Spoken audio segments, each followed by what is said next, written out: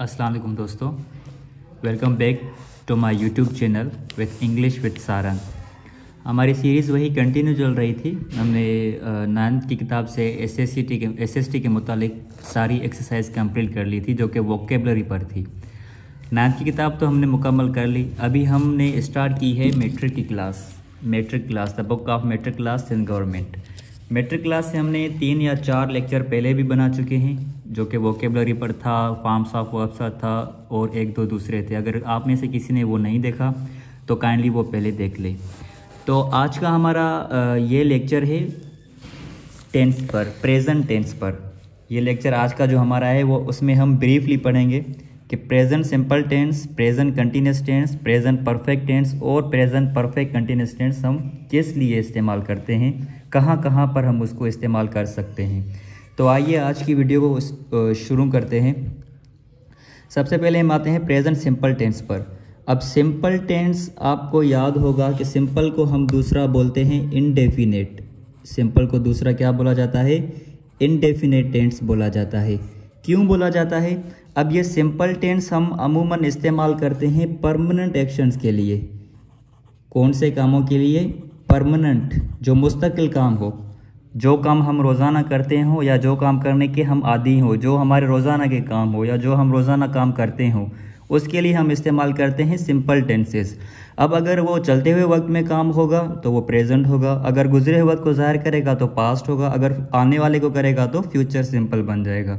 पर आज की वीडियो हमारी है प्रेजेंट पर तो आज हम सिर्फ़ प्रेजेंट सिंपल टेंस पर ही फोकस करेंगे। तो प्रेजेंट सिंपल टेंस हम इस्तेमाल करते हैं किन किन कामों के लिए या किस लिए, कहाँ पर इस्तेमाल करते हैं।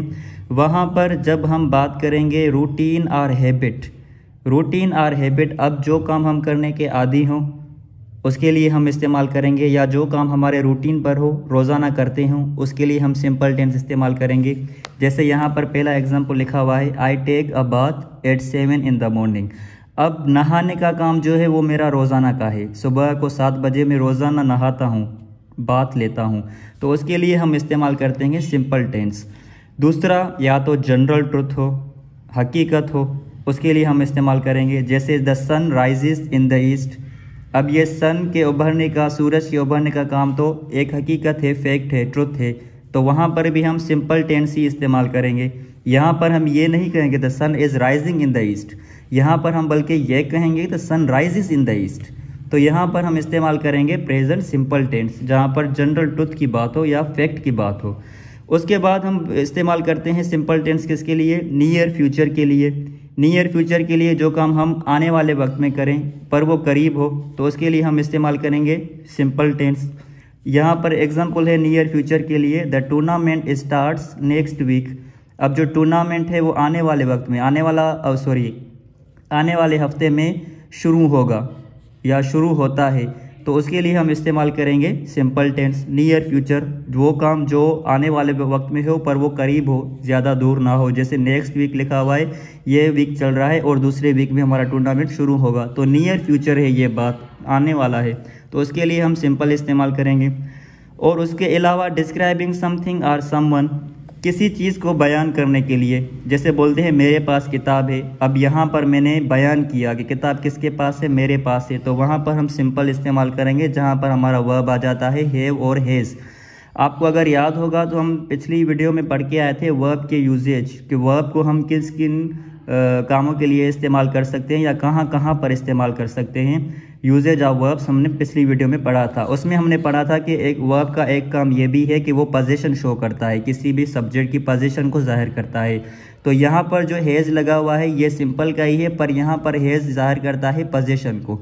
Their cat has blue eyes उनकी बिल्ली को नीली आँखें हैं। यानी नीली आँखें किसके पास है? उनकी बिल्ली के पास।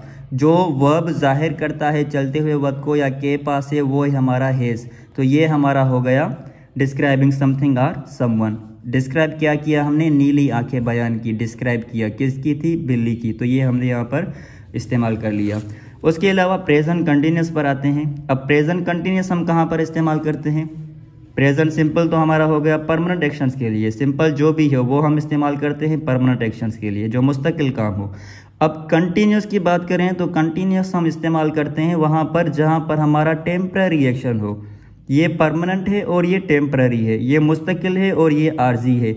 ये किसी भी मखसूस वक्त, किसी भी मखसूस वक्त वक्त पर मुसलसल कोई काम जारी रहता है तो उसके लिए हम इस्तेमाल करते हैं कंटिन्यूस टेंस अब किन किन कहाँ कहाँ पर इस्तेमाल करेंगे, ये लिखा हुआ है। पहला पहला एक्शन एंड प्रोग्रेस वो काम जो मुसलसल जारी रह रहा हो या जारी हो।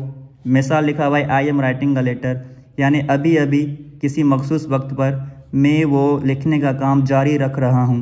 आई एम राइटिंग का लेटर मैं ख़त लिख रहा हूँ। यानी लिखने का काम अभी जारी है। अभी मखसूस वक्त पर वो लिखने का काम कंटिन्यू है या जारी है। प्रोग्रेस में है। टेम्पररी एक्शंस के लिए इस्तेमाल करते हैं। They are having a good time अब हैविंग अ गुड टाइम ये हम हम एक अच्छा वक्त गुजार रहे हैं। They are having a good time वो एक अच्छा वक्त गुजार रहे हैं। गुजार रहे हैं तो वो उसी वक्त पर गुजार रहे हैं। वो रोज़ाना नहीं गुजारते। तो ये हमारा टेम्पररी एक्शंस हो गया। नियर फ्यूचर के लिए भी इस्तेमाल करते हैं। जैसे यहाँ पर हमने नियर फ्यूचर के लिए सिंपल इस्तेमाल किया था, वैसे ही हम कंटिन्यूस को भी नियर फ्यूचर के लिए इस्तेमाल कर सकते हैं। मिसाल लिखा हुआ है he is living for Chitral next week अब नेक्स्ट वीक तो हमारा मुस्तकबिल हो गया फ्यूचर हो गया। यहाँ पर हमने इज़ इस्तेमाल किया है, क्योंकि कंटिन्यूस को हम प्रेजेंट कंटिन्यूस को हम फ्यूचर के लिए नियर फ्यूचर के लिए भी इस्तेमाल कर सकते हैं। He is living for Chitral next week यानी वो चित्राल आने वाले हफ़्ते में जा रहे हैं। चित्राल के लिए आने वाले हफ़्ते में हमें छोड़ रहे हैं। छोड़ रहे हैं, आने वाले वक्त में होगा वो काम, आने वाले वक्त में होगा कंटिन्यू होगा। तो ये हमारा हो गया नियर फ्यूचर के लिए। अच्छा इसमें हम इस्तेमाल करते हैं यूज़ ऑफ़ एम इज़ और आर एम इज़ आर के साथ हम इस्तेमाल करते हैं वर्ब का फोर्थ फॉर्म जिसको हम बोलते हैं वी फोर इंग फॉर्म जिसको हम बोलते हैं। इंग फॉर्म या वी फोर ये दो, ये बोथ आर सेम ये दोनों सेम है। इनमें कोई भी फ़र्क नहीं है। तो ये एम इज़ आर ये हमारे हेल्पिंग वर्ब्स हैं, या कह ले कि ये हमारे आगजलरी वर्ब्स है प्रेजेंट कंटिन्यूस टेंस को लिखने के लिए। उसके बाद हम आते हैं तीसरे नंबर पर, जो कि है प्रेजेंट परफेक्ट टेंस अब प्रेजेंट परफेक्ट टेंस पहले तो हम ये जान लेते परफेक्ट क्यों बोल रहे हैं इनको? परफेक्ट की माने हैं मुकम्मल। मुकम्मल क्यों? मुकम्मल इसलिए बोलते हैं क्योंकि ये हमें माना देता है किसी भी काम के मुकम्मल होने की, कि कोई काम किसी मखसूस वक्त पर मुकम्मल हो चुका है या मुकम्मल हुआ है। तो उसके लिए हम इस्तेमाल करते हैं perfect tense. Present perfect tense की बात करेंगे तो मतलब चलते हुए वक्त में कोई काम मुकम्मल हो चुका है, उसके लिए इस्तेमाल करते हैं। अब किन किन जगह पर इस्तेमाल करेंगे? पहला है एक्शंस रिसेंटली कंप्लीटेड यानी वो काम जो अभी अभी रिसेंटली यानी हाल ही में अभी अभी मुकम्मल हुए हो। अभी अभी मुकम्मल होगा, मुकम्मल हो चुका है, उसके लिए हम इस्तेमाल करेंगे प्रेजेंट परफेक्ट टेंस उसके बाद हम बोलते हैं a past situation related to the present कोई भी गुजरी हुई सूरत हाल हो, पर वो हाल से मुतलिक हो, हाल से रिलेटेड हो, उसके लिए भी हम परफेक्ट इस्तेमाल करते हैं। जैसे इस टेंस को हम पास्ट में सॉरी उर्दू में भी बोलते हैं कि ज़मान हाल सॉरी माजी बईद, समान माजी बईद अब बैद की माने है करीब। बैद की माने क्या हो गई? करीब। माजी करीब क्यों बोलते हैं? क्योंकि ये जो परफेक्ट इस्तेमाल करते हैं, उन कामों के लिए जो अभी अभी मुकम्मल हुए हो, जो अभी अभी मुकम्मल होगा मतलब वो गुजरे वक्त के करीब होगा, करीब होता है। तो उसके लिए हम इस्तेमाल करते हैं ज़मान माजी, बैद, जिसको हम बोलेंगे present perfect tense present perfect tense माजी के करीब होता है, इसलिए हम उसको बोलते हैं रिसेंटली यानी अभी अभी हाल ही में। चौथा है, हमारा use of has and have अब इस यहाँ पर जैसे हमने इस्तेमाल कर लिया हेल्पिंग अब इज़ एम आर यहाँ पर हमारा हो गया हेज और हैव हेज हम वहाँ पर इस्तेमाल करेंगे जब हमारा सब्जेक्ट सिंगुलर होगा, और हैव वहाँ पर इस्तेमाल करेंगे जब हमारा सब्जेक्ट आय होगा, और आय के साथ हमारा अगर सब्जेक्ट प्लूरल होगा तो आय और प्लूरल के साथ हैव लगाएँगे सिंगुलर सब्जेक्ट के साथ हेज लगाएँगे. मिसाल हमारे लिखे हुए हैं she has finished her work अब she has finished her work इसकी माने क्या हुई? उसने अपना काम अभी मुकम्मल किया है। मुकम्मल किया है मतलब अभी अभी मुकम्मल होने का काम हो चुका है, यानी वो गुजरे वक्त के करीब है, इसके लिए हम उसको बोलेंगे बाजी बैत। I have written three letters since morning मैं सुबह से चार ख़त लिख चुका सॉरी तीन ख़त लिख चुका हूँ। लिख चुका हूँ, ये हमारा हो गया परफेक्ट टेंस यानी मुकम्मल होने की माना दे रहा है। उसके बाद हम आते हैं परफेक्ट कंटिन्यूस पर। अब परफेक्ट भी है हमारा और कंटिन्यूस भी है। यहाँ पर हमने सिर्फ़ परफेक्ट पढ़ा था और यहाँ पर सिर्फ़ हमने कंटिन्यूस पढ़ा था। पर यहाँ पर हम दोनों एक साथ पढ़ेंगे। एक साथ कैसे पढ़ेंगे? परफेक्ट की मीनिंग भी होगी और कंटिन्यूस की। कंटिन्यूस की कैसे? कि कोई भी काम गुजरे वक्त में शुरू हुआ हो, ये स्टार्टिंग पॉइंट शुरू हुआ हो वो कंटिन्यू रहा हो और हाल ही में या चलते हुए वक्त में वो ख़त्म हो गया हो, उसके लिए हम इस्तेमाल करते हैं परफेक्ट कंटिन्यूस यहाँ पर जो हमने परफेक्ट में पढ़ा था, वहाँ पर हमें कंटिन्यू रहने, किसी भी काम के कंटिन्यू रहने की मीनिंग नहीं मिल रही थी। और यहाँ पर जो कंटिन्यूस में पढ़ा था, वहाँ पर हमें किसी भी काम के मुकम्मल होने की माना नहीं मिल रही थी।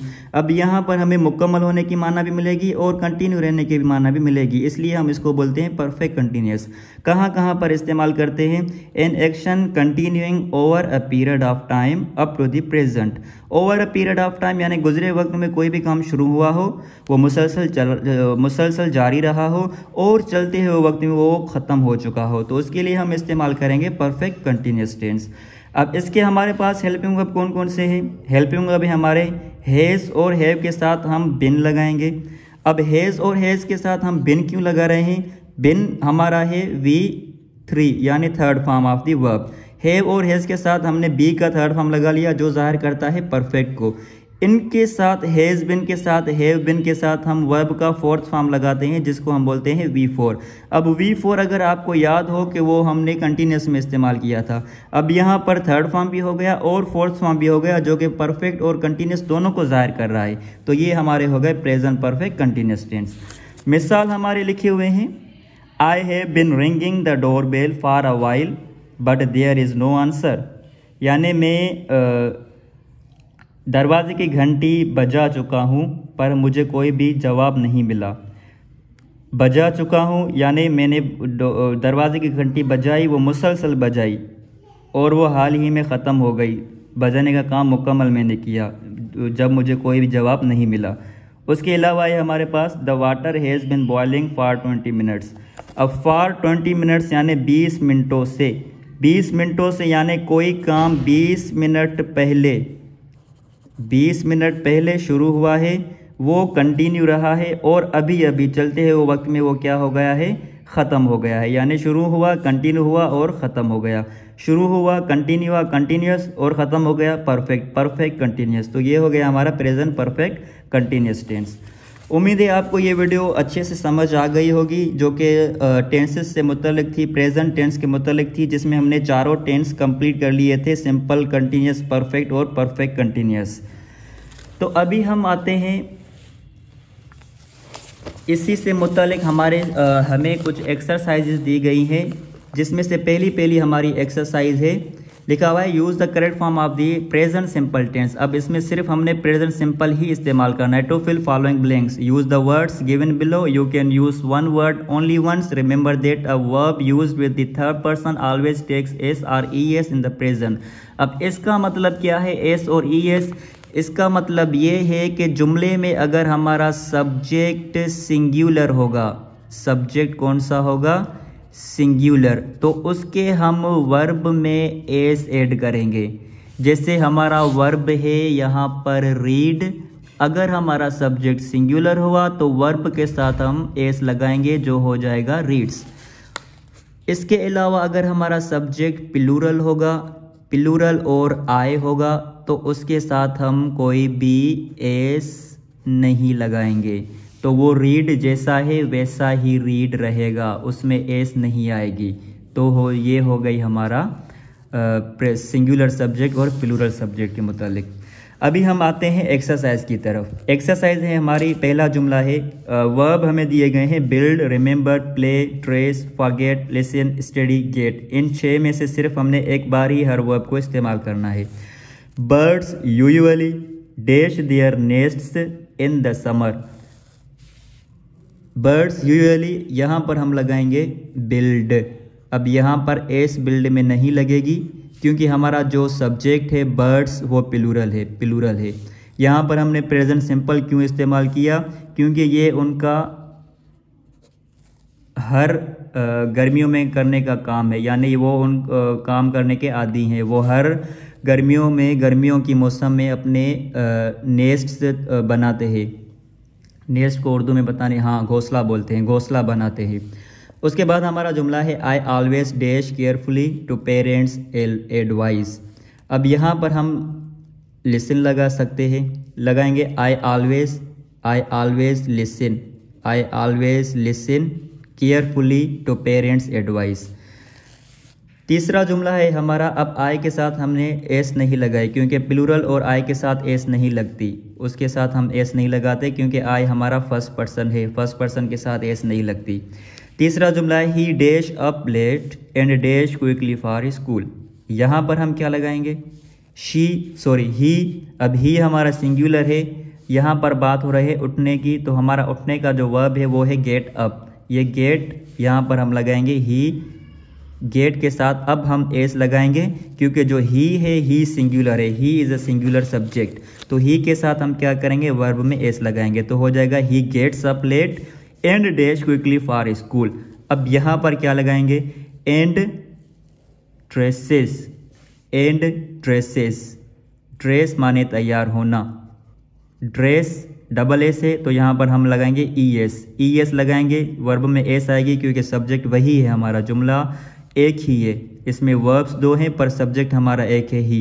ही सिंगुलर है तो यहाँ पर भी ड्रेस के साथ हम ई एस लगाएँगे dresses he gets up late and dresses quickly for school वो सुबह लेट उठता है और जल्दी जल्दी में स्कूल के लिए तैयार होता है। उसके बाद हमारा चौथा जुमला है he dash in the afternoon and dash in the evening अब यहाँ पर है हमारे पास he we dash in the afternoon and dash in the evening यहाँ पर क्या लगाएँगे?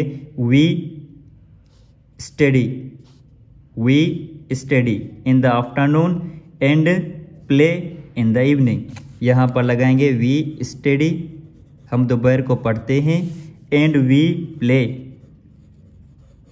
in the evening और शाम को खेलते हैं। अब यहाँ पर स्टडी और प्ले के साथ हमने वर्ब क्यों सॉरी एस क्यों क्यों नहीं लगाई? क्योंकि हमारा जो सब्जेक्ट है वी वो पिलूरल है। पिलूरल के साथ वर्ब में एस नहीं लगती। उसके बाद हमारा पांचवा जुमला है my friend dash name but dash numbers अब बिल्ड भी हो गया लिसन भी हो गया स्टडी भी हो गया प्ले भी हो गया ड्रेस भी हो गया और गेट भी हो गया। यहाँ पर हमारे दो वर्ब बचते हैं, जो है रिमेंबर और forget my friend dash name but dash numbers my friend यहाँ पर लिखेंगे फॉरगेट्स माय फ्रेंड फॉरगेट्स यहाँ पर एस लगाई क्योंकि फ्रेंड यहाँ पर फ्रेंड की बात हो रही है, मेरी नहीं हो रही। फ्रेंड हमारा सिंगुलर है तो वर्ब के साथ एस लगेगी। My friend forgets name but remember numbers यहाँ पर हम लगाएँगे रिमेंबर्स बी ई आर यहाँ पर भी एस ज़रूर लगेगी, क्योंकि सब्जेक्ट हमारा वही फ्रेंड है। My friend forgets name but remembers numbers तो ये हमारी जो एक्सरसाइज थी, वो प्रेजेंट सिंपल टेंस पर थी। दूसरी हमारी एक्सरसाइज है, जो है use the correct form of the present continuous अब यहाँ पर हमने वर्ब इस्तेमाल करना है वर्ब का फॉर्म इस्तेमाल करना है, पर किसमें? कंटिन्यूस में। कंटिन्यूस में अगर आपको याद हो कि पीछे हम पढ़ के आए थे कि कंटिन्यूस के साथ वर्ब का फोर्थ फॉर्म लगता है, यानी वी फोर वी फोर कह ले या इंग फॉर्म ऑफ़ दी वर्ब कह ले, जो हम वर्ब के बेसिक फ़र्स्ट फॉर्म की आखिर में आई एन जी लगाते हैं तो वो फोर्थ फॉर्म बन जाता है। अब यहाँ पर है present continuous to fill the following blanks use the words given below you can use one word only once remember that in the continuous form ing is added to the verb and am is are are added before the verb पहले हम helping अब लगाएँगे, उसके बाद हम verb का fourth form इस्तेमाल करेंगे। अब यहाँ लगाएँगे look it dash so hard look at dash so hard अब यहाँ पर लगाएँगे look it is raining it is raining verb हमने इस्तेमाल किया रेन रेन के साथ हमने आई एन जी लगा ली. It is raining so hard यानी बहुत तेज़ बारिश हो रही है। देखो, बहुत तेज़ बारिश हो रही है। We dash English these days we dash English these days अब यहाँ पर क्या लिखेंगे? यहाँ पर हम वर्ब इस्तेमाल कर सकते हैं लर्न तो लिखेंगे वी वी के साथ हम हेल्पिंग अब लगाएँगे आर वी आर उसके बाद हम लर्न के साथ आई एन जी लगाएँगे तो हो जाएगा learning we are learning English these days हम आजकल अंग्रेज़ी सीख रहे हैं। The birds dash and the farmers dash their songs अब यहाँ पर है द बर्ड्स डैश यहाँ पर क्या लगा सकते हैं? बर्ड्स सिंग लिखेंगे, द बर्ड्स बर्ड्स प्लूरल है तो हमारा जो हेल्पिंग वर्ब होगा वो आर होगा। अब सिंग के साथ हम आई एन जी लगाएँगे तो हो जाएगा, the birds are singing, the birds are singing and the farmers दोबारा हम यहाँ पर लगाएँगे, आर इंजॉइंग इंजॉइंग परिंदे गाना गा रहे हैं और किसान उनके गानों को मज़ा, उनके गानों का मज़ा ले रहे हैं। फार्मर्स हमारा प्लूरल है तो उसके साथ हम आर लगाएँगे और वर्ब का आई एन जी फॉर्म लग जाएगा। आर एंजॉइंग दियर सॉन्ग्स उसके बाद हमारा है the teacher dash and the students dash अब टीचर क्या करता है? एक्सप्लेन करता है, बयान करता है चीज़ों को, और शागिर्द क्या करता है? उन चीज़ों को नोट करता है, यानी लिखता है। तो लिखेंगे द टीचर इज़ टीचर हमारा सिंगुलर है तो इज़ लगेगा। द टीचर इज़ अब लिखेंगे एक्सप्लेन के साथ हम लगाएँगे I N G the teacher is explaining and the students teacher teacher एक था, हमने इज़ लगाया। स्टूडेंट्स हमारे प्लूरल में है प्लूरल सब्जेक्ट है तो यहाँ पर हम लगाएँगे are and the students are writing and the students are writing उसके बाद आखिरी है हमारा some children dash in the pond and some dash clay toys अब यहाँ पर क्या लगाएँगे? अब यहाँ पर हमारे जो वर्ब बचे हैं, वो सिर्फ़ हैं मेक और स्विम मेक और स्विम अब यहाँ पर लगाएँगे the some children children plural है तो हम लगाएँगे आर सम चिल्ड्रेन आर अब लगाएँगे स्विम स्विम का फोर्थ फॉर्म हो जाएगा swimming some children are swimming in the pond and some some बच्चों की ही बात हो रही है। तो ये भी प्लूरल है। तो सम के बाद साथ भी हम आर ही लगाएँगे। एंड सम आर अब यहाँ पर लगाएँगे मेक का fourth form and some are making clay toys तो ये आज की हमारी दो एक्सरसाइज थी जो कि प्रेजेंट सिंपल टेंस और प्रेजेंट कंटिन्यूस टेंस पर थी।